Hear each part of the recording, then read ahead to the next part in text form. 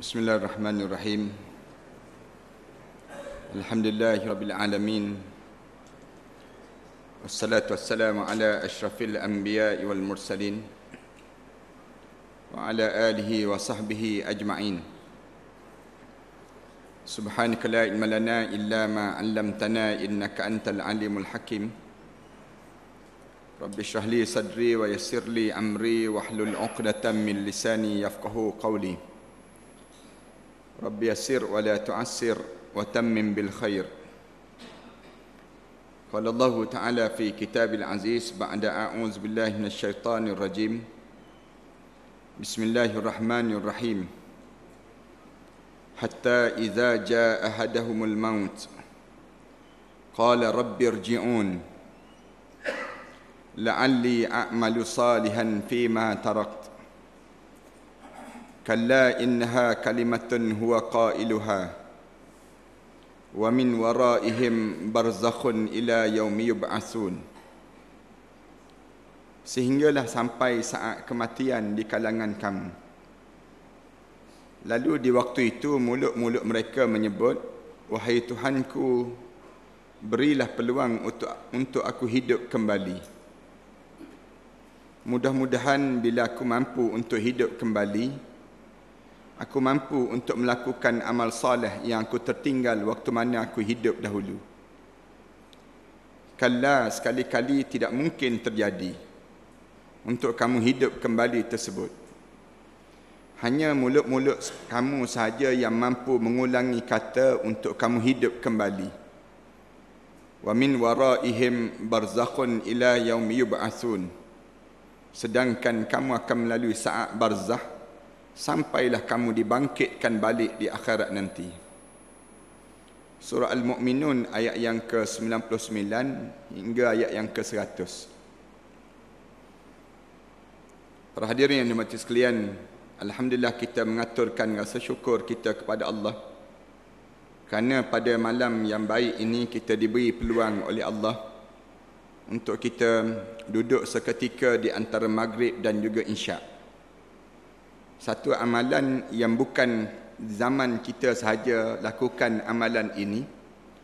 Bahkan amalan ini dilakukan sejak zaman Nabi Muhammad sallallahu alaihi wasallam lagi. Setelah mana selesai saja maghrib di antara amalan yang dilakukan oleh sahabat-sahabat ialah mengingati dan tazkirah saling ingat mengingati di antara satu sama lain terhadap tujuan perjalanan hidup ini sendiri yang dipesan oleh Nabi Muhammad sallallahu alaihi wasallam bila kamu berjalan dan kamu melihat satu taman pada taman-taman syurga farta biha hendaklah kamu ambil kesempatan untuk kamu duduk di taman-taman syurga itu. Lalu ditanya oleh sahabat-sahabat Rasulullah apa dia taman-taman syurga di dunia ini ya Rasulullah? Rasulullah sallallahu alaihi wasallam jawab majalisil ilm.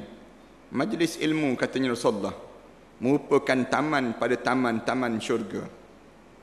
Dalam Al-Quran Karim seringkali Allah gunakan ayat supaya kita saling ingat mengingati. Sehingga kan dalam Al-Quran Karim sebut fazakir fa inna zikra tanfa'un lil mu'minin. Bagilah peringatan. Sungguhnya dengan peringatan itu memberi manfaat bagi orang yang beriman pada Allah Subhanahu wa taala. Kenapa kita perlu diperingatkan dan diperingatkan dalam hidup kita ini sampai peringkat kita diajar supaya belajar dan belajar. Sehingga kan Rasulullah sallallahu alaihi wasallam seringkali mengingatkan kita kepada majlis ilmu. Rasulullah pesan pada kita jangan tinggal daripada majlis ilmu ini. Banyak hadis-hadis yang menggambarkan betapa pentingnya kita hidup dalam keadaan kita duduk dalam majlis ilmu sampai peringkat ini pun merupakan jalan-jalan untuk kita menuju ke syurga Allah. Rasulullah sallallahu alaihi wasallam sebut dalam hadis Rasulullah, "Man salaka tariqan yabtaghi fihi ilman, salakallahu lahu tariqan ilal jannah." Rasulullah gunakan kalimah demikian.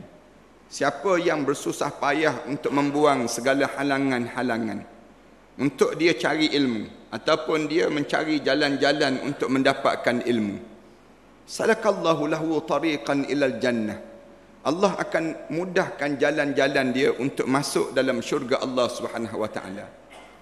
Islam ni agama yang mengajar pada kita supaya kita sentiasa hidup dalam keadaan yang menambahkan dan menambahkan ilmu. Supaya apa kita menambah ilmu ini dalam setiap hari dan setiap masa pada kita? Supaya kita tidak timbul satu masa pada diri kita ni satu penyakit dalam hidup kita yang akan datang nanti. Penyakit jarang orang kita ni perhati terhadap penyakit yang akan datang nanti. Penyakit apa dia? Penyakit menyesal setelah mana peluang yang Allah bagi pada diri kita. Dalam hidup kita ni ramai di kalangan kita ni kita tak pernah terfikir tentang penyesalan setelah mana kita diberi peluang. Allah bagi dalam hidup kita ni peluang yang banyak. Peluang-peluang dalam hidup ini terlampau banyak sangat yang Allah bagi pada kita. Tapi sayangnya ramai di kalangan kita bila lepas pada diberi peluang ini dia tak ambil Kemudian datanglah satu penyakit yang melekat.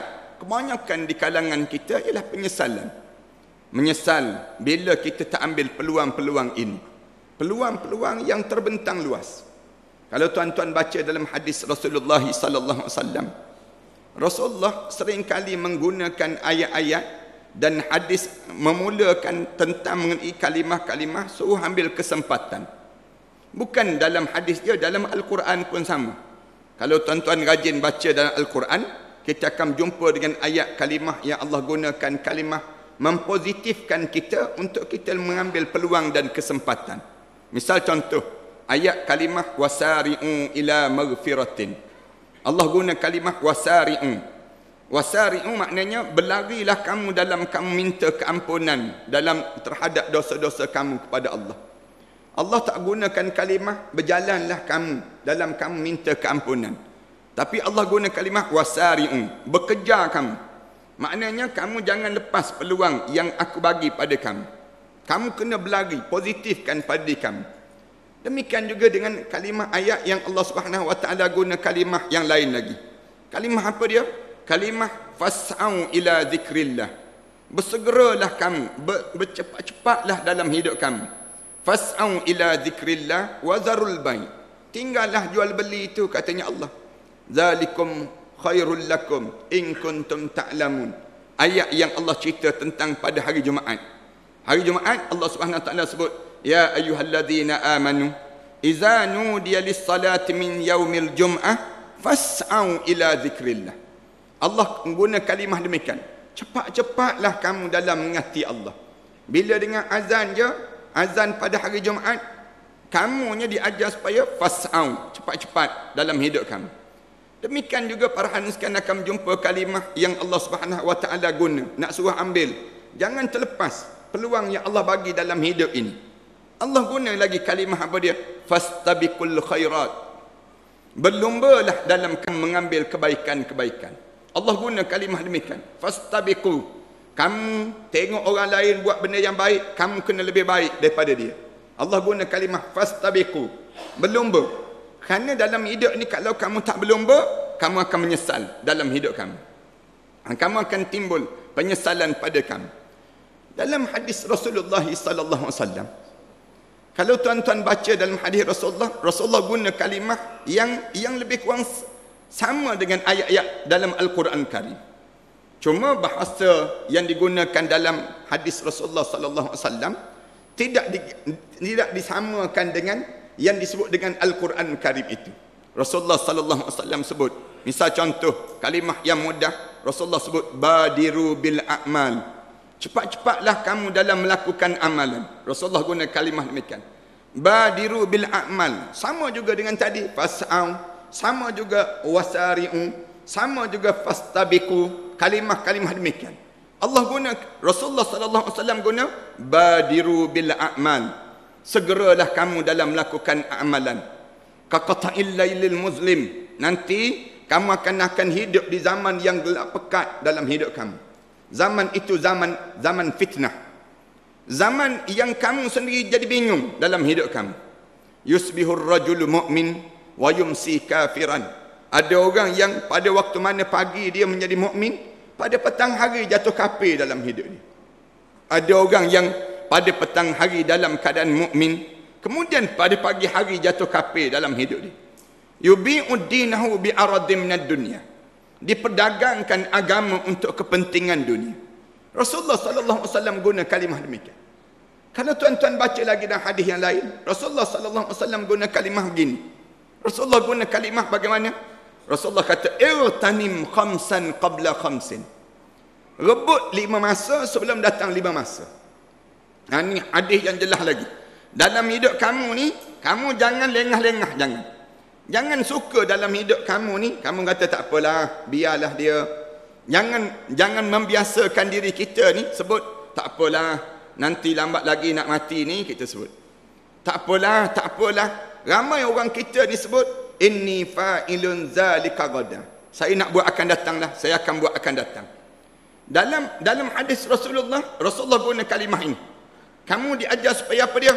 Kamu diajar irtanim, gebut. Gebut dalam hidup kamu. Mana-mana peluang yang kamu ada ni kamu ambil, ambil. Ambil terus. Rasulullah sebut demikian. Lima keadaan yang kamu Allah akan bagi pada kamu sebelum direntap lima keadaan dalam hidup kamu. Lima-lima ni kamu dapat ke? Dapat. Allah jadikan pada kamu nikmat ini. Apa dia? Allah Subhanahu Rasulullah sebut syababaka qabla haramik. Waktu muda kamu sebelum jatuh tua dalam hidup kamu. Kamu ambil peluang waktu mana kamu muda, saat mana kamu muda ni, kamu ambil peluang-peluang tersebut. Sebelum bila? Sebelum datang saat mana kamu jadi tua pada diri kamu. Kalau dah tua, tak ada manfaat lagi kamu nak menyesal di waktu itu. Kamu rasa nak kembali balik zaman muda kamu tak ada dah. Rasulullah sallallahu alaihi wasallam sebut demikian. Bila lagi kamu gebut dalam hidup kamu hayat uh, disebut lagi wa ghinaka qabla faqrik. Waktu mana kamu kaya sebelum kamu jatuh fakir dalam hidup kamu. Kamu ada masa kamu kaya. Orang kaya jangan ingat dia kaya sampai bila-bila. Tapi kerana satu hari nanti kamu akan jatuh fakir dalam hidup kamu. Kamu akan jatuh miskin pada diri kamu. Kamu jangan ingat kamu ni kaya, kaya, kaya, kaya. Tak miskin-miskin dah pada kamu. Tak, jangan. Hidup kamu ni, aku gilir dalam ayat al-Quran Karim Allah Subhanahu wa taala sebut watilkal ayyamu nudawiluha bainan nas. Hari ini Allah gilir dalam hidup manusia. Sekejap kamu berada ke atas sekejap kamu turun ke bawah. Ha sekejap lagi kalau ada peluang lagi kamu naik balik. Sekejap lagi kamu turun balik. Hari-hari ini kamu jangan ingat kamu hidup dalam keadaan sama saja sampai bila-bila. Kamu orang kaya, jangan kamu ingat bila kamu kaya, kamu kaya sampai bila-bila, jangan. Cara Rasulullah sallallahu alaihi wasallam ajar. Lagi bila kamu kena rebut, sihat kamu sebelum kamu jatuh sakit. Sihataka qabla saqamik. Waktu mana kamu sihat tu, kamu ambil peluang dalam hidup kamu. Karena bila kamu sihat, kamu tak selama-lama sihat. Suatu hari nanti, kamu akan jatuh sakit juga pada kamu. Bila lagi kamu kena ambil peluang? Wa faragaka qabla syughlik. Waktu mana kamu lapang sebelum kamu jatuh dalam keadaan kamu disibukkan dalam hidup kamu. Masa kamu lapang tu kamu betul-betulkan diri kamu. Amalan-amalan kamu. Suatu hari nanti kamu akan jatuh sibuk. Sibuk diri kamu. Dan akhir sekali Rasulullah sallallahu alaihi wasallam sebut, "Wa hayataka qabla mautik." bila kamu hidup sebelum kamu dimatikan oleh Allah. Bila kamu mati, ramai di kalangan kamu menyesal. Timbul penyesalan. Sekarang kita tak rasa sebab kita tak mati. Sekarang kita tak rasa lagi. Tapi kebanyakan orang, bila dia akan mula rasa? Bila tengok malaikat maut diri depan muka dia. Tengok malaikat maut diri depan muka dia, timbul penyesalan terus. Waktu tu tak ada manfaat lagi dah harta dia. Tak ada manfaat lagi jawatan dan tahta dia. Tak ada tak ada bernilai lagi dalam hidup dia. Berdiri saja malaikat maut depan dia, malaikat maut sebut, "Demi Allah, aku tak akan keluar daripada jumpa dengan kamu sehingga roh kamu terpisah daripada jasad kamu." Sumpah malaikat maut tersebut. Bila malaikat maut diri saja depan kita, malaikat maut sebut terus, "Wahai anak Adam, aku cari setitik air untuk kamu telan sudah tidak ada dah." Aku cari selangkah untuk kamu melangkah. Sudah tidak ada. Aku cari sepatah kataan yang keluar daripada mulut kamu. Sudah tidak ada. Aku cari, aku cari rezeki kamu. Sudah tidak ada. Wahai roh, sila keluar daripada jasad. Sebut keluar saja, timbul penyesalan. Timbul penyesalan. Kebanyakan manusia ni, ada manusia yang menyesal saat ini. Ada manusia yang menyesal saat ini. Dia akan sebut terus. Laula akhartani ila ajalin qarib. Allah rakam perkataan yang disebut oleh orang yang dekat nak meninggal dunia. Kalimah ini dia sebut terus. Malaikat boleh bagi tahu tak kepada Allah sekejap. Jangan bagi mati lagi. Jangan bagi mati lagi malaikat. Kenapa nak jangan bagi mati? Fa as-saddaqa. Aku nak bersedekah di jalan Allah. Wa akum minas salihin dan aku ingin menjadi hamba Allah yang saleh. Jawab malaikat pada orang yang nak mati ni. Sebab ada orang nak mati ni. Walan yuakhirallahu nafsan iza jaa ajaluha. Allah tak tangguh dah. Bila sampai ajal pada kamu. Masa kamu dah sampai dah. Wallahu khabirum bima ta'malun. Kerana Allah tahu fi'il perangai apa yang kamu akan ulang balik. Kalau ditangguh balik amalan kamu itu. Dalam kitab-kitab dia cerita. Ada manusia tak menyesal lagi waktu ni. Ada manusia ni degil lagi. Degilnya manusia. Bila tengok malaikat maut tu. Degil lagi dalam hidup dia. Malaikat maut dah sebut dah. Sila keluar roh. Daripada tu badan ini. Dia masih lagi terperangkap dengan perangkap-perangkap dunia. Na'udzubillah min zalik. Kita harap supaya mereka yang hadir malam ni tak begitu insyaAllah. Mudah-mudahan kita ni terlepas daripada saat itu. Bila sampai saat mana mereka kata sila keluar daripada roh ini. Dia masih lagi terikut dengan syaitan. Syaitan pujuk dia. Jangan bimbang.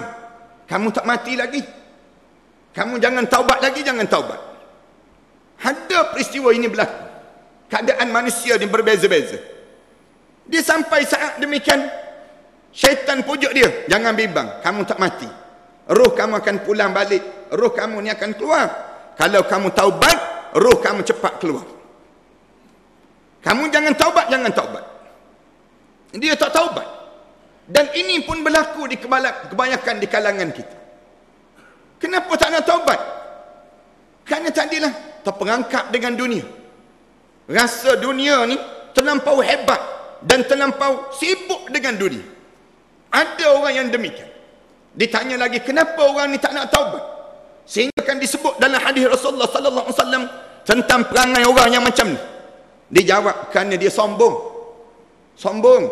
Dia rasa dia ni pembesar. Dia rasa dia ni ada ilmu. Dia rasa dia ni ustaz. Dia rasa diri dia ni hebat. Dia rasa diri dia ni ada kelebihan yang menyebabkan dia kata dia tak mati lagi, tak mati lagi. Tarik tu di hujung kaki tu. Tarik di hujung kaki tu, naik dah. Tarik dah roh ni. Naik saja roh ni sampai ke lutut. Syaitan pujuk. Jangan, jangan. Jangan taubat, jangan taubat. Kalau kamu taubat masa ini, nescaya roh kamu ni akan keluar cepat tubuh badan kamu. Roh kamu ni akan turun balik ni, roh kamu akan turun balik. Pujuknya syaitan. Ramai yang terperangkap dengan yang ni. Mudah-mudahan kita tak kena insya-Allah. Mudah-mudahan di kalangan kita ni biar kita tahu keadaan ini. Dan perlu sangat kita tahu keadaan sebegini. Tarik lagi bila tarik lagi daripada lutut ni, nak sebutnya tak nak taubat. Tarik daripada lutut sampai ke pinggang. Bila sampai ke pinggang ini, bila tarik sampai ke pinggang, kita mula rasa sejuk di pusat. Orang yang meninggal dunia ni, disebut dalam kitabnya, dia akan sejuk sangat di pusat dia. Di pusat dia tu sejuk sangat. Sebab apa sejuk di pusat? Ulama-ulama kata permulaan perjalanan hidup berdasar daripada pusat ini. Waktu mana kamu dengan ibu kamu dalam kandungan ibu dahulu. Di, di, itu disebut. Kenapa daripada pusat? Banyak sebut. Ulama-ulama sebut. Bila sejuk di pusat itu, saya tak cadang nak cerita tentang mengenai pusat ini. Tapi saya nak sebutnya tentang mengenai, bila sejuk saja di pusat, tiba-tiba dia turun balik. Roh ni, ada yang turun balik ke bawah. Sampai ke hujung kemaluan kita. Tuan-tuan ingat betul-betul yang saya pesan ini yang saya saya belajar daripada guru saya ini. Ada yang turun balik. Bila turun saja, turun ke bawah ni. Bila turun tersebut, syaitan sebut. Kan aku dah kata, roh kamu turun. Roh kamu turun. Kamu tak mati, kamu tak mati. Aku, kamu tengok ni. Roh sedang turun. Turun. Turun sikit demi sedikit. Turun, turun balik. Tadi sampai ke pusat lah. Tiba-tiba diturun, turun, turun. Turun sampai ke bawah. Kemaluan kita. Bila diturun sampai bawah kemaluan kita. Tiba-tiba mendadak dia naik. Zup dia naik. Zup ni sampai di halkum terus. Sampai di halkum terus. Roh ni naik. Rup sampai di halkum. Terkejut tergamam bau perasan oh mati disebut oh mati itu bila zat naik ke halqam ni oh mati ni mata dia wal tafatis saqu bisaq Allah sebut dalam Quran mata dia terbeliak. Mata tu terkejut. Mati aku. Bila mati ni dia pun keluar terus daripada mulut dia sebut apa dia? Inni tubtul an. Sekarang saya taubatlah ya Allah disebut sekarang saya taubat ya Allah.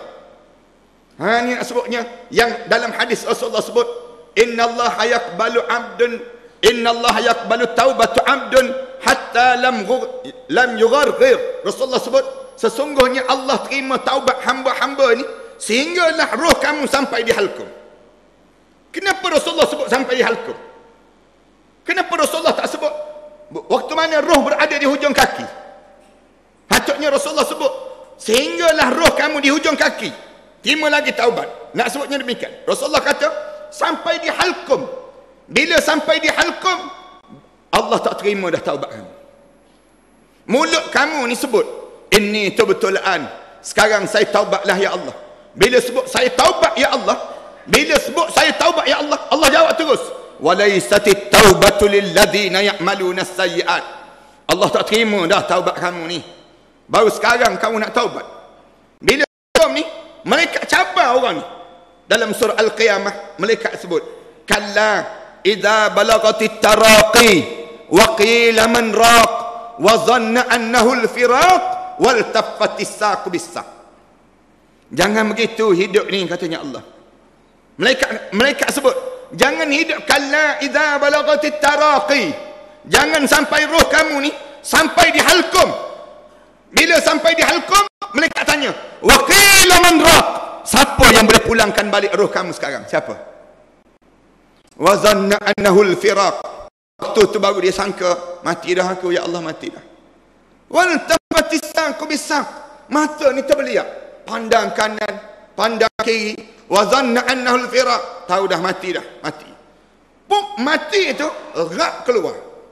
Allahu akbar. Zuk keluar daripada badan ni, bunyi itu kekah sekali. Kah macam benda yang patah begitu dalam tengkuk. Kemudian orang mukmin dia keluar mulut dia sebut la ilaha illallah Muhammadar Rasulullah. Yang ni ni perbincangan panjang alim ulama tentang saat keluar ruh daripada jasad seseorang. Bila keluar baru mula mati. Baru permulaan kematian. Tadi masa sakaratul maut. Bila keluar saja roh daripada jasad ini, keluar saja masa tu baru mula mati mati ni naik menghadap depan Allah bila naik menghadap depan Allah Allah sebut. Dua je. Sama ada dua ni saja tentukan dia dalam syurga illiyin. Tentukan dia dalam dengan sejid. Roh mula turun. Turun berada di hujung kepala masing-masing. Kita boleh nampak siapa yang datang nak mandikan jenazah kita. Kita rasa siapa yang buka butang baju kita. Kita rasa saat mana orang mandikan jenazah kita. Kita rasa saat mana orang usung jenazah kita? Kita boleh rasa semua saat mana orang mula usung sampai sampai ke liang lahat bila sampai di liang lahat tersebut kita nampak di hujung kaki kita tu berdiri dua orang malaikat muka dan nakir.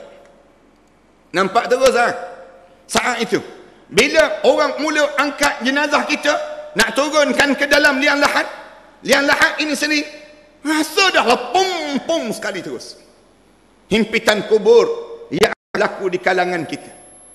Saya sengaja sebut ni. Nak suruh tuan-tuan kena ingat ini perjalanan tentatif perjalanan yang kita akan lalui sebentar lagi. Dalam kehidupan kita. Turun saja dalam kubur tu. Turun saja hadap muka ke kiblat. Bila hadap muka ke kiblat tu buka muka kita ni bau tanah depan muka kita. Dengar suara bawah telinga kita. Nampak berdiri di hujung kaki kita ni.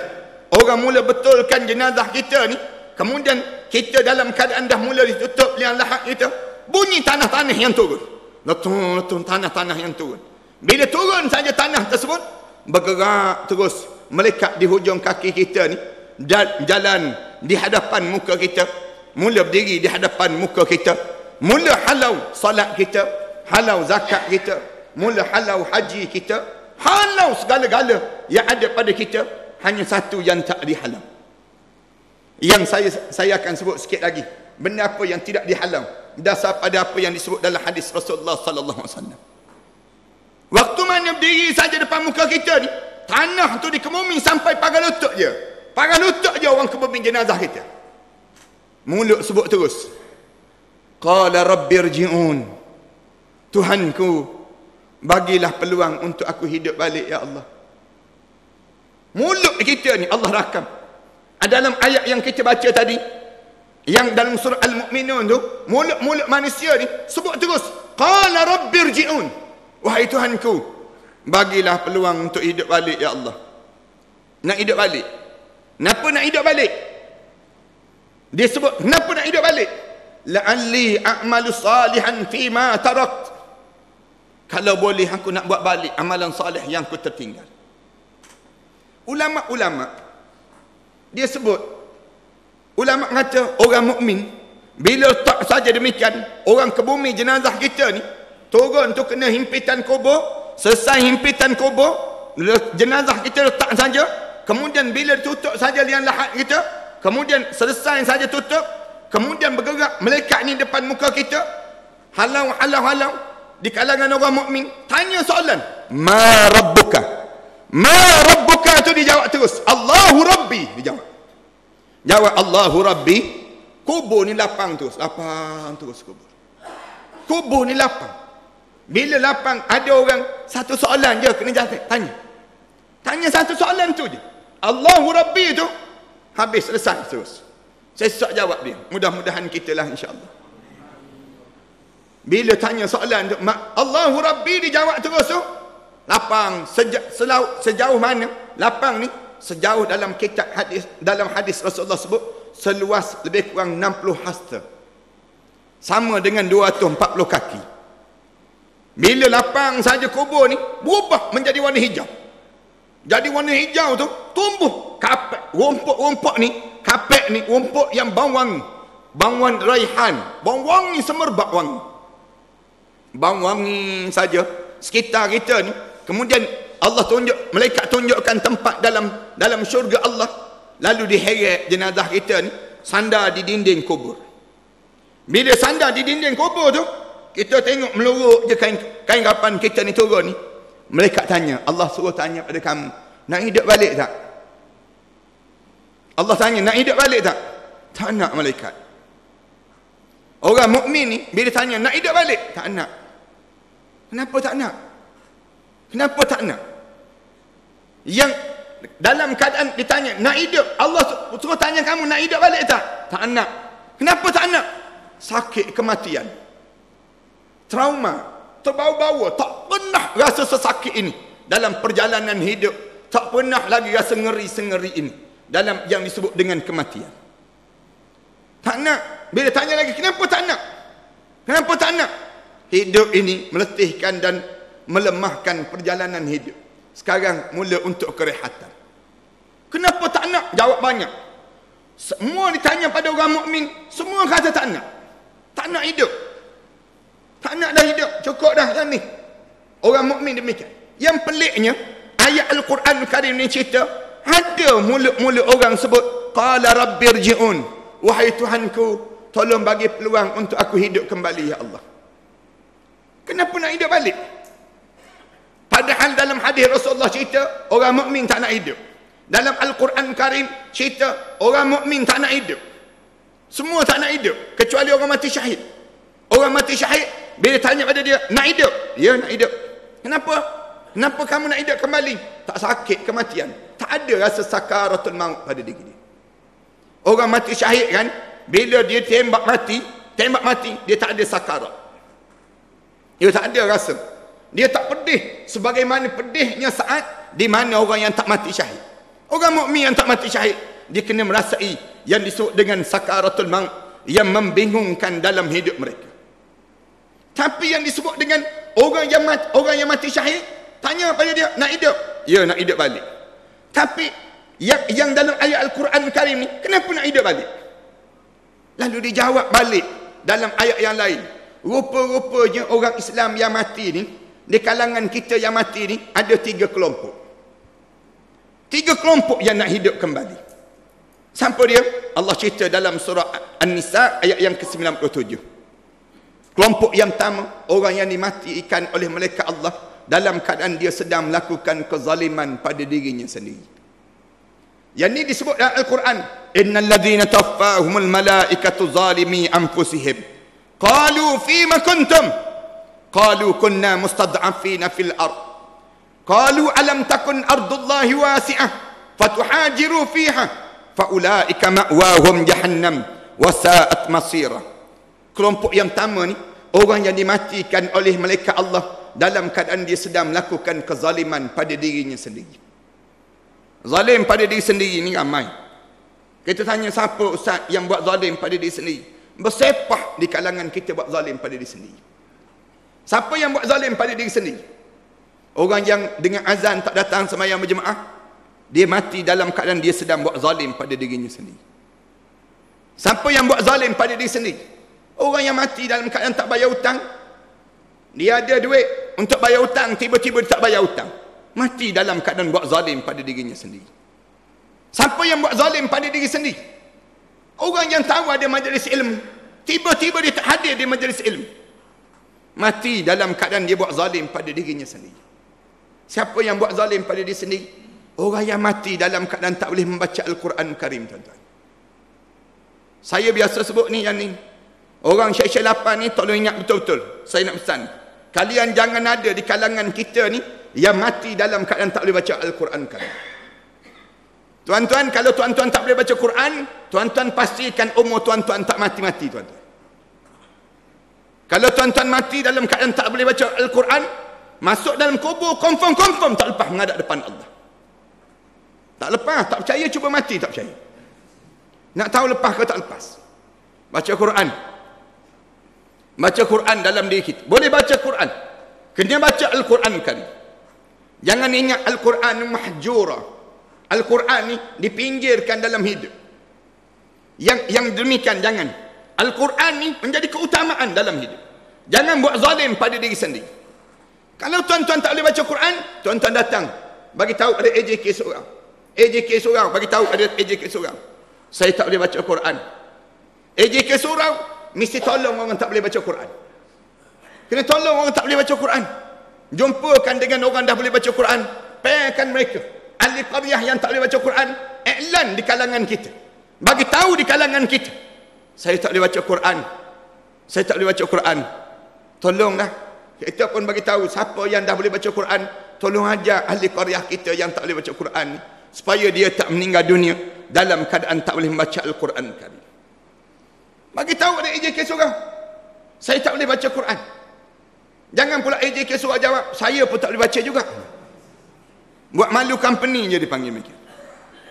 AJK seorang mesti boleh baca Al-Quran kan. Yang kita ni boleh. Untuk apa dia? Menolong orang untuk hidup dan menolong orang untuk mati. Ni peranan surau. Peranan surau dia bukan sekadar untuk nak tolong orang untuk hidup je. Bagi beras-beras, bagi yang disebut dengan gula-gula dan sebagainya. Tapi peranan surau apa dia? Peranan surau termasuk sama dalam keadaan yang seorang mestilah tolong untuk orang nak mati tolong juga orang yang telah mati. Tolong juga orang dah lama dah di kalangan ahli qaryah kita yang telah meninggal dunia. Baca doa dan seumpama untuk mereka tersebut. Ini peranan yang digambarkan dalam kehidupan kita. Ha, ini dipanggil kekuatan pada kita demikian. Siapa yang meninggal dunia dalam keadaan yang dia tak belajar? Mati dalam keadaan tak belajar? Dia buat zalim pada dirinya sendiri Perbincangan zalim ni panjang. Bila masuk dalam kubur, malaikat tanya terus. Qalu fi ma kuntum? Kenapa kamu mati macam ni? Dia jawab, qalu kunna mustad'afina fil ard. Wahai malaikat, kami di kalangan manusia yang lemah atas dunia dahulu. Ni golongan ni kan ramai kan. Yang ibu-ibu sering kali memuji nama anak dia. Anak saya ustaz, mencuri tak, menipu tak, berzina tak, minum arak tak, semayam pun tak, puasa pun tak dia panggil. Hidup dalam keadaan sebetak. Memang dia kata, memang tak buat kianak pada orang. Tapi dia sedang buat kianak pada diri sendiri. Buat kianak pada diri sendiri ni ramai. Di kalangan kita terlibat dengan perkara demikian. Ni kumpulan yang pertama. Bila masuk dalam kubur, dia tak dia ditanya oleh malaikat. Qalu fima kuntum? Kenapa kamu mati macam ni? Dia jawab, qalu kunna mustad'afina fil ard. Malaikat kami orang yang lemah di atas dunia dahulu. Lalu tanya balik, qalu alam takun ardullahi wasi'atan? Tidakkah Allah telah jadikan bumi itu luas untuk kami? Fatuhajiru fiha Susah sangat ke kamu nak belajar, nak belajar di atas dunia dahulu. Faulaika ma'wahum jahannam. Mereka sebut pada orang ni, diam-diam kamu, tempat kamu dalam neraka jahannam. Wasa'at masira dan neraka jahannam ini seburuk-buruk tempat yang disediakan oleh Allah kesudahan dalam perjalanan hidup kamu. Tak ada manfaat hidup kereta mewah masuk neraka. Tak ada manfaat hidup rumah mewah tapi masuk neraka. Tak ada manfaat hidup anak-anak cerdik, anak-anak masuk you semua. Masuk kubur, masuk neraka terus. Tak ada faedah langsung dalam hidup yang sedemikian rupa. Hidup yang mesti jelas pada diri kita. Yang pertama. Golongan kedua disebut dalam Al-Quran. Cerita orang yang hidup balik. Golongan kedua ni siapa? Yang kita harap kita pun tak terlibat. Siapa golongan kedua ni? Golongan yang hidup terang-terangan melawan syariat agama. Lawan atas dunia ni lawan. Lawan Islam. Lawan Al-Quran. Lawan je. Dalam hidup. Disebut dalam surah Al-An'am. Ayat yang ke-44. Falamma nasu ma zukirubi. Ketika mana kamu lupa segala peringatan Allah. Fatahna alaihim abwa syai. Kami buka ke atas mereka segala pintu maksiat yang mereka nak buat. Mereka nak buat. Ada orang yang jenis macam ni. Hidup dalam keadaan yang buat maksiat yang terang-terangan buat maksiat. Yang terang-terangan tak semayang tak puasa tak tutup aurat. Lawan dia. Lawan dia kita tegur dia. Kamu tak tutup aurat ni. Kamu tak bimbang ke kalau kamu mati? Peduli apa engkau dengan aku? Kubur aku kubur aku kubur engkau kubur engkau lah dia jawab. Nak sebutnya tak beraninya mereka tersebut kita kata iyalah kubur engkau kubur engkau kubur aku kubur aku. Masalahnya bila masuk dalam kubur nanti kubur kau sebelah kubur aku itu so. tak kebedengar mengaku dalam kubur nanti. Nak gambarkan ada orang yang jenis demikian. Yang peliknya bila dia tak semayang segar-segar dia. Kita ni pelik dengan orang macam ni. Dia tak keluar zakat tapi hidup mewah. Dia ni tak tutup aurat tapi jodoh ada jodoh ada je. Tak tutup aurat. Kahwin cerai kahwin cerai kahwin cerai. Kita ni tutup aurat ni puas mandi bunga tak jumpa-jumpa jodoh. Nak sebutnya susahnya dalam hidup. Yang dia ni pula Allah bagi bagi bagi nikmat. Eh pelik kita Allah kata yang pelik lah aku sedang istidrajkan dia. Aku sedang uji pada dia. Fatahna alaihim abwa kulla syai kami buka segala pintu maksiat yang dia nak buat. Buatlah. Dah tolol sangat kamu dah degil sangat kamu. Sampai bila? Hatta iza farihu bima utu. Sehingga dia rasa suka sungguh dengan maksiat yang dia buat tersebut. Tengah-tengah dia rasa suka itu. Akhaznahum baktatan kami rentak nyawa dia dalam keadaan mengejut. Fa izahum mublisun. Di waktu itu tercengang-cengang dia mengadap di hadapan Allah Subhanahu wa taala ingat betul-betul tuan-tuan yang ni. Tuan-tuan jangan ingat bila orang yang orang Islam dia buat maksiat dalam keadaan dia tak ada kena maksud, tak ada apa-apa panjang umur dia pula. Dia lawan syariat. Ingat ke dia tu main-main? Tak Allah sedang istidrajkan dia. Sedang elok dia panjang jauh umur tu tengah-tengah sedap dia buat maksiat lawan syariat rub Allah rentak nyawa. Rub Allah rentak nyawa tu. Faizahum mublisun tercengang-cengang masuk dalam kubur sebut ada Allah qala rabbirji'un Ya Allah, bagilah peluang hidup balik ya Allah. Nak hidup balik. Ini kelompok yang kedua. Jangan masuk kelompok ini tuan-tuan. Dan jangan masuk kelompok yang ketiga.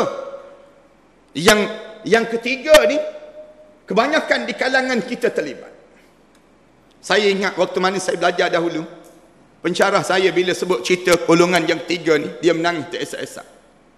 Menangis dia. Lama dia menangis. Dia sebut golongan ketiga ni, ada kemungkinan kita kot. Ada kemungkinan kita. Lalu, semua dengar ni, dia kata, siapa? Golongan ketiga ni. Golongan yang Allah cerita dalam surah Al-Kahfi, ayat 103 hingga 106. Orang yang masuk dalam kubur, baru masuk je jenazah dalam kubur, pandang kanan, pandang kiri, depan belakang, kosong amalan menghadap depan Allah. Tak ada apa-apa tuan-tuan. Tak semayang ke? Semayang. Tak puasa ke? Puasa. Tak zakat ke? Zakat. Tak baca Quran ke? Baca Quran. Tapi yang jadi kosong ni kenapa kosong? Allah cerita kul hal nunabbiukum bil aqsarina a'mala. Wahai Muhammad, sebut kepada umat kamu tu, orang yang masuk dalam kubur, aqsarina a'mala. Kosong amalan menghadap depan Allah. Kenapa kosong? Kosong ni kenapa kosong? Allah jawab, alladzina dhalla sa'yuhum fil hayatid dunya. Sayangnya dia biarkan perjalanan hidup dia sesat di penghujung kehidupannya. Sesat di hujung kehidupan. Sesat ni tuan-tuan jangan main-main tuan-tuan. Tuan-tuan, orang yang sesat ni sampai peringkat Allah nak suruh kita jangan bagi sesat. Allah suruh kita tiap kali mana solat, baca dalam solat, ihdinas siratal mustaqim. Ya Allah bimbingkanlah kami ke jalan yang lurus ya Allah. Tak mudah tuan-tuan. Dalam di zaman hujung-hujung zaman ni jadi hidup nak suruh jadi lurus. Tak mudah hujung hidup ni jadi sesat ramai mana orang yang hidup dia lagi dia lama hidup lagi jauh dia dengan agama lagi lagi lama hidup lagi sesat dalam hidup. Sesat kat mana? Kat mana sesat ni? Sampai peringkat digambarkan Allah Subhanahu wa taala sebut alladzina dhalla sa'yuhum fil hayatid dunya wa hum yahsabuna annahum yuhsinuna sun'a mereka buat amalan tapi amalan mereka tu mereka sangka diterima rupa-rupa tidak diterima di sisi Allah. Allah cerita puncanya apa dia? Ulama-ulama huraikan balik sesat pada tiga tempat tiga tempat ni kita minta jauhlah kita daripada tiga tempat ni yang pertama tak yakin dengan masa depan hidup dengan Islam yang ni yang pertama hilang terus sesat dalam hidup bila hilang keyakinan pada Islam Tuan-tuan, kita tanya, tak yakin ke lagi datang semayang? Eh, tak tentu lagi. Datang semayang pun lawan Islam ramai mana? Orang kita yang datang solat ni, yang datang tiba-tiba lawan syariat ramai. Ramai di kalangan kita. Islam ni, jangan ingat sebut Islam, semayang, puasa, zakat begitu saja. Tak. Islam ni bila sebut Islam, udkhulu fis silmi kafah. Masuk Islam semua sekali. Jangan kamu masuk separuh, kamu kupus separuh yang lain jangan. Kamu masuk Islam. Kat mana kita tak yakin dengan Islam? Kita tanya. Kat mana tak yakin dengan Islam? Dalam bab ekonomi. Dalam bab ekonomi, orang kita mana yakin dengan ekonomi Islam? Orang kita kan, kalau kita buat contoh yang mudah, pergi ke bank. Pegawai bank tanya, nak buat cara Islamic loan ke, cara conventional loan ni pakcik? Pakcik nak buat loan ni, loan cara Islamic ke, cara conventional? Dia tanya balik, mana yang untung? Dia tanya. Orang kita tanya balik, mana yang untung? Tak yakin dengan cara Islami. Maknanya dia dia suruh buat pertimbangan lagi. Dia timbang lagi tak yakin. Itu baru yang disebut dengan yang dinamakan dengan ekonomi. Dalam pendidikan, orang kita tak yakin dengan pendidikan Islam. Saya ulang banyak kali tuan-tuan, tak yakinnya kita dengan pendidikan Islam. Orang kita kan kalau kita tanya, tak hantar anak menghafal Quran. Dia tanya balik, ada masa depan ke menghafal Quran ni? Orang kita ni tanya dalam hidup. Habis tu kamu nak hantar anak ke mana? Saya rela hantar anak saya belajar sekolah sekular dibandingkan belajar sekolah agama. Kerana saya yakin masa depan dia dengan kerja dia dengan demikian. Eh kita tanya balik. Yang kamu belajar-belajar tu bila habis dia guna ke yang dia belajar tersebut? Yang orang kita ni kan, bila dia sebut dia belajar-belajar ni, banyak mana yang kita belajar, bila kita habis kita tak guna. Ilmu yang kita belajar ni. Saya buat contoh yang mudah lah. Saya dulu belajar jugalah sejarah para meswara misal contoh. Belajar sejarah ni. Bila saya habis je sejarah ni, habis belajar je, saya tak guna-guna pun para meswara tersebut. Yang guna hari ni dengan iping ni. Nak sebutnya, yang kita belajar, kita tak guna. Yang kita nak kena guna, kita tak belajar. Yang kita nak kena guna apa dia? Al-Quran. Orang kita tak belajar pun Al-Quran. Tu yang jadi bingung dalam hidup tu. Al-Quran pun tak boleh baca. Lawan orang boleh baca Quran. Kalau di sudut adab pun tak beradab dia panggil. Di sudut akhlak pun tak berakhlak. Kita dah tahu dah kita ni jahil. Tak boleh. Quran pun tak boleh baca. Patutnya belajarlah dengan orang boleh baca Al-Quran. Beza dah kita dengan mereka tersebut. Tapi nak sebutnya, dalam hidup ni ramai mana orang kita, Quran pun tak boleh. Nak jadi tok imam pun tak boleh. Saya mengajar di masjid negeri ni dah 18 tahun. Mengajar di masjid negeri Shah Alam ni. Ramai mana yang isteri yang datang mengadu ustaz. Suami saya tak boleh jadi tok imam ustaz. Saya kahwin dengan dia. Saya harap dia boleh jadi tok imam. Tak boleh jadi tok imam ustaz.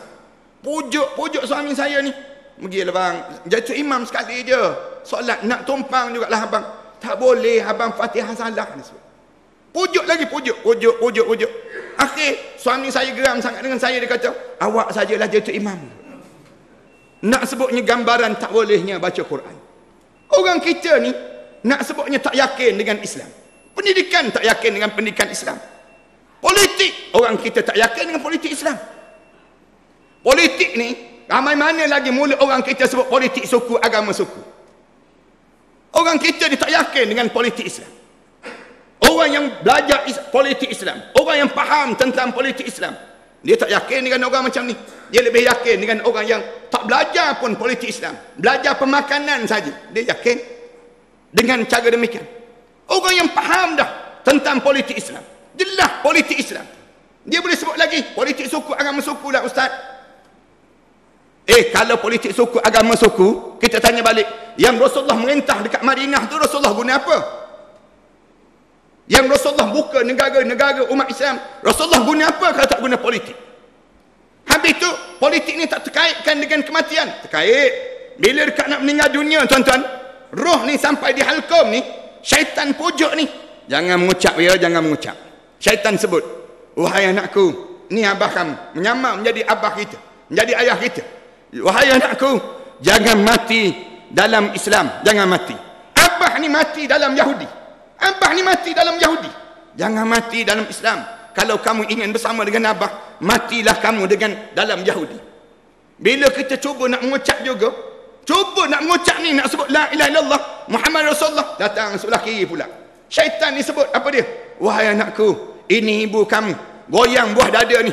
Rasulullah sebut dalam hadis yang panjang yang diriwayatkan oleh Anas bin Malik dia cerita tentang syaitan goyang buah dada ni. Syaitan tunjuk ni buah dada ni. Syaitan sebut apa dia?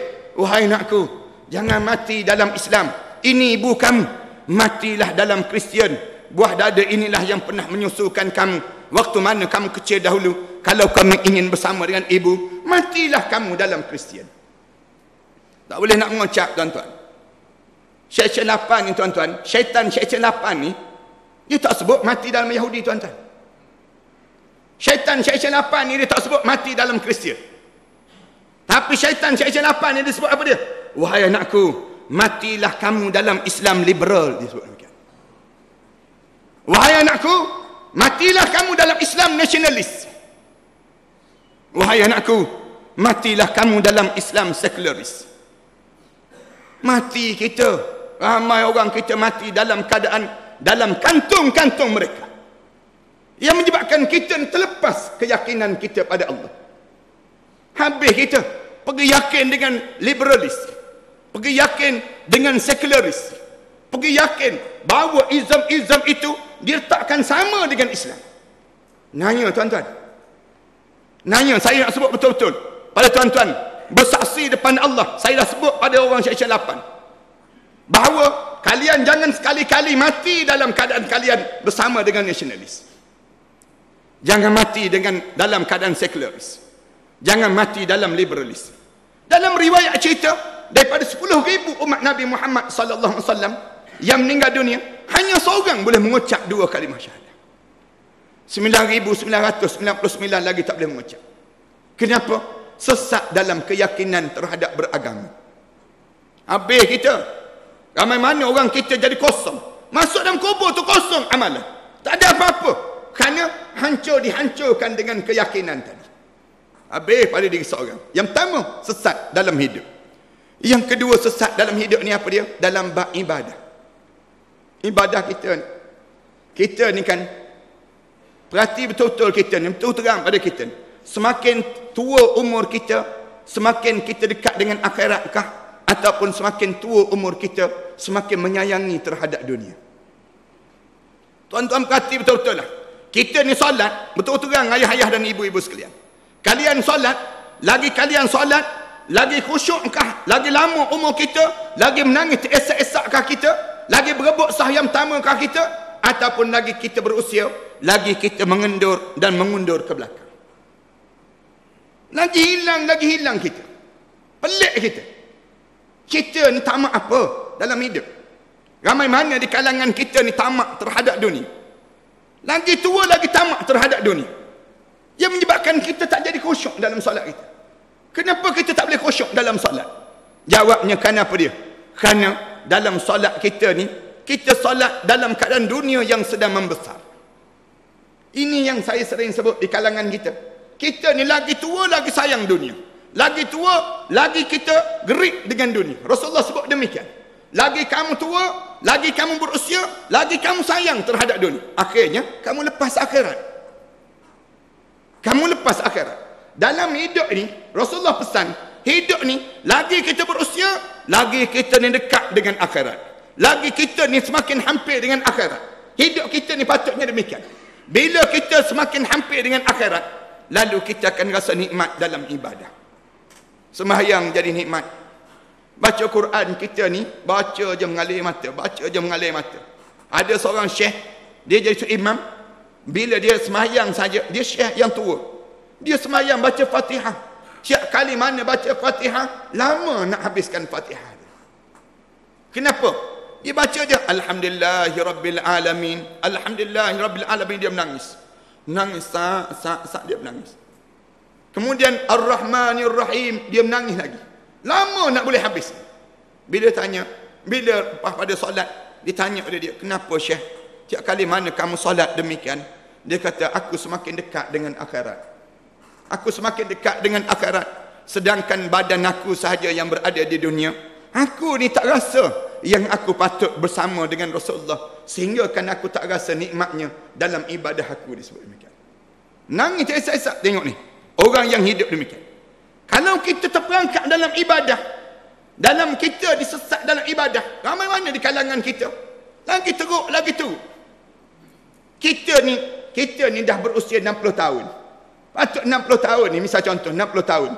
Dah-dahlah kerja dunia. 60 tahun ni, masa sudah berakhir untuk dunia. Memulakan langkah kita untuk ke akhirat Allah. Mula menyiapkan diri kita mulut kita, amalan kita, tingkah laku kita, derma ni menjadi biasa. Lazimkan diri kita. Bagi, bagi, bagi, bagi, bagi. Kenapa dia orang tanya, banyak derma, nak pergi ke akhirat dah. Tak lama dah masa. Umur 60 tahun ni, bukan masa lagi untuk dunia. Mas, bukan masa lagi untuk dunia. Bila usia 60 tahun, bangun tahajud. Malam-malam bangun. Kemudian tak tinggal walaupun satu malam. Kenapa dia?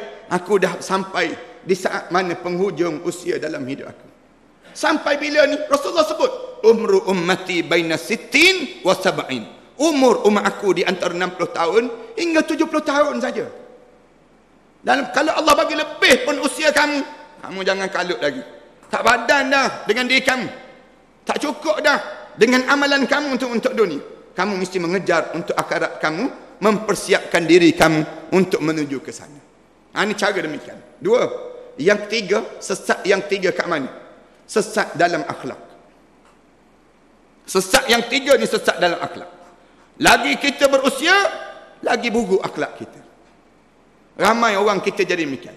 Lagi berusia, lagi tak jaga mulut. Mulut ni tak pandai nak jaga. Sumpah seranah, celak, cakap ni, mulut keluar je mulut-mulut kata-kata yang membingungkan orang lain. Dengar je kadang-kadang ramai mana anak menantu yang sebut, kenapalah lagi teruk, lagi teruk mulut ayah saya ni. Kenapalah kata-kata dia ni tak terjaga. Ha ni jaga betul-betul tanda. Satu saya sebut ni, saya sebut siapa yang usia 60 tahun dah dah lah tanya, sibuk tanya orang siapa juara gegar Waganza. Jangan sibuk lagi nak tanya kenapa Liverpool kalah dengan Manchester United. Tak payah lagi sibuk kan? tanya kenapa ha, mana menang di antara Triple H lawan Songkol Tak payah tanya dah soalan demikian. Yang sibuk tanya macam mana malam pertama saya di barzah nanti. Bagaimana keadaan saya bila saya bangkit nanti?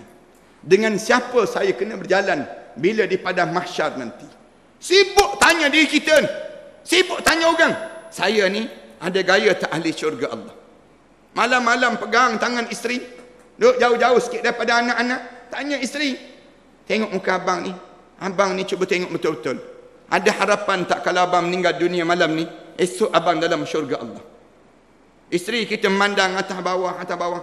Susah juga bang, katanya orang. Nak masuk syurga macam mana? Subuh tujuh setengah bang. Sibuk tanya diri kita. Tanya soalan-soalan demikian. Mulut kita ni jangan cakap lagi tentang dunia lah. Yang pentingnya sebut la ilaha illa anta subhanaka inni kuntu minaz zalimin. Ulang kalimah ni. Sebanyak mana ulang? Sebanyak 40 kali sehari. Sebut apa dia? dalam usia begini baca Quran mulut kita ni biar rajin baca Quran biar basah ni ratban bi zikrik biar basah bibir kita ni manis dalam menyebut nama Allah biar jadi demikian selawat tak tinggal seribu kali sehari selawat mulut kita ni sebut Allahumma salli ala Muhammad wa ala ali Muhammad sebelum daripada kita tidur pastikan seribu kali sehari ni kita dah selawat dan selawat dalam hidup Jangan banyakkan lagi kita bercakap tentang hal yang kita nak kena tinggal. Tetapi banyakkan bercakap hal yang kita nak akan bawa. Yang kita akan lalu dalam perjalanan hidup kita. Ini supaya kita tak jadi sesat. Yang tua, jangan sesat pada mulutnya. Jangan sesat pada akhlaknya. Jangan sesat dalam ibadahnya. Dan jangan sesat pada keyakinan dia. Keyakinan ni jangan sesat. Manakala yang muda, tolong jaga tulisan-tulisan kalian. Tulisan-tulisan tolong jaga. Mulut tak cakap, tangan itu boleh tahan. Jari itu yang tulis dalam WhatsApp-WhatsApp grup. Jaga tuan-tuan. Dalam WhatsApp grup yang tuan-tuan terlibat sama tersebut, semuanya akan disoal di hadapan Allah. Tuan-tuan terlibat tulis dengan kata-kata caci maki dalam tersebut, tuan-tuan akan kena jawab depan Allah nanti. Tanyaan-tanyaan yang kita tanya dalam keadaan provokasi. Apa saja yang menyebabkan tersinggung di kalangan kita. Jawab depan Allah nanti. Jangan kita rosakkan hubungan sesama kita dengan tulisan-tulisan yang tak baik. Yang muda tolong jaga tulisan. Jangan caci maki para alim ulama. Um, ilmu kita banyak, banyak mana dalam hidup. Jangan kita ni sentiasa sebut. Ulama pun tak maksum juga dia sebut. Eh kita tanya balik siapa yang ajar ulama maksum? Siapa yang ajar ulama maksum? Tak ada lagi setakat ni orang ajar ulama ni maksum. Yang maksum hanya nabi. Tapi adakah kerana tidak maksum kamu boleh caci maki alim ulama? Adakah kerana tidak maksumnya alim ulama kita boleh caci maki dia? Kata macam-macam gaya pada dia. Allah. Kita nak tunggu orang maksum ke baru kita nak berhenti caci maki kita? Sampai bila kita nak berhenti demikian? Siapa kamu? Kamu nak minta maaf dengan orang alim tu? Bila kamu nak minta maaf dengan dia? Dalam hidup kamu tersebut. Dalam hadis Rasulullah sebut, "Man azali waliyan faqad adantuhu bil harb." Siapa-siapa yang berani berani untuk dia menyakitkan hati para wali-wali aku, aku istilah perang dengan orang demikian. Allah kata aku sendiri perang dengan dia. Jangan main-main tuan-tuan. Jaga tulisan-tulisan dalam Facebook. Jaga tulisan. Orang muda tolong jaga tulisan-tulisan. Jaga. Orang muda pun kena jaga, orang tua pun kena jaga juga. Jaga benda-benda demikian. Kerana semua itu menjadikan kosong amalan kita bila menghadap depan Allah nanti. Kosong amalan ni tuan-tuan nak buat macam mana tuan-tuan? Turun-turun, turun dalam kubur ni. Pandang kanan, pandang kiri. Belakang, depan, tak ada. Kosong amalan. Eh macam kita turun, turun kapal terbang, seluk poket kanan, seluk poket kiri, tak ada handphone, tak ada, pasport tak ada, beg duit tak ada. Turun pula negara yang kita tak pernah sampai. Negara pula yang kelahi dengan negara kita. Korea Utara misal contoh. Turun tu macam mana kita nak buat? Nak buat, eh ni bukan turun Korea Utara ni. Ni turun kat barzah ni turun barzah. Turun barzah, tiba-tiba kosong amalan. Bila turun ke barzah kosong amalan. Allah mulut sebut. Qala rabbi irji'un. Tuhanku bagi peluang untuk aku hidup balik ya Allah. Allah jawab terus. Sebut malaikat pada orang ni, kalla sekali-kali jangan harap kamu boleh hidup balik. Innaha kalimatun huwa qailuha. Mulut kamu je sebut. Sembang kencang je kamu. Cakap besar bolehlah. Nak hidup, nak hidup. Wa min waraihim barzakhun ila yaumi yub'asun. Sedangkan kamu akan melalui saat barzah sampai kamu dibangkitkan balik di hadapan Allah Subhanahu wa taala. Tuan-tuan, kita ni jangan jadi macam tu tuan-tuan. Jangan sampai menyesal dalam kubur jangan. Biar kita menyesal sekarang supaya kita selamat dalam kubur kita dan kita bangkit di akhirat nanti dengan para nabi dan para awliya salihin. Kalau kita meninggal dunia dalam keadaan yang kita ni habis amalan-amalan kita, rugilah perjalanan hidup. Tak adalah yang kita lalui ini lalu kita akan menyesal keluar darah air mata sekalipun tak ada manfaat di saat tersebut untuk kita menghadap depan Allah. Dalam Al-Quran dia cerita banyak tentang penyesalan ini. Tak berhenti dalam kubur. Bangkit di akhirat menyesal lagi. Tak berhenti lagi. Bila tengok di pada masyarakat, berdiri pada masyarakat tu menyesal lagi. Tengok keadaan sasana masyarakat. Bila campak dalam neraka, menyesal lagi. Masuk dalam neraka, menyesal lagi. Dalam neraka tu dia sebut. Dia boleh sebut. Ya ya wailata, ya wailatana in wahai Tuhan kami dia sebut pada pada Allah alangkah bagusnya kami ni kalau kami hidup atas dunia ni inna ata'na kami ni taat pada Allah dan juga Rasul kami tapi Rabbana inna ata'na sadatana dia sebut wahai Tuhan kami kami ni jadi sesat ni tak lain masuk neraka ni punca apa dia kami ikut pembesar-pembesar kami kami ikut pemimpin-pemimpin kami fa'adalluna sabila mereka lah yang menyesatkan kami daripada jalan hidup ini Rabbana atihim di'fain min azab Wahai Tuhan kami, ganda dua kali ganda azab pada pemimpin kami. Wal anhum laknatlah mereka laknan kabira dengan selaknat laknat yang besar. Tapi yang dia minta doa tu, dia sendiri dalam neraka dah. Tak ada manfaat dah pada diri dia. Jadi dalam keadaan demikian para sekalian, mudah-mudahan ayat yang saya baca tadi, dua ayat yang Allah cerita bagaimana keadaan suasana di dalam kubur itu menjadi satu pengajaran pada kita dalam kita berada dalam suasana masyarakat kita hari ini. Mudah-mudahan Allah panjangkan lagi umur kita dan Allah masukkan kita di kalangan hamba Allah yang saleh. Aku li wa lakum.